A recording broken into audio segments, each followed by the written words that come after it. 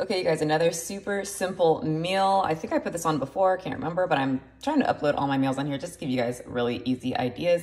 I was starving this morning. I don't feel like making like an elaborate normal Sunday, you know, like lower calorie breakfast. I usually do like protein pancakes, sausage, egg whites, this kind of thing. I was starving. I needed food now, and I had leftover ground beef and uh, rice. And then I love having salsa on it. I put a little bit of garlic paste and then sour cream and that will total up to about 402 calories, including my fruit. I'm just having grapes and cut up apples, and that's my breakfast. What did you guys have?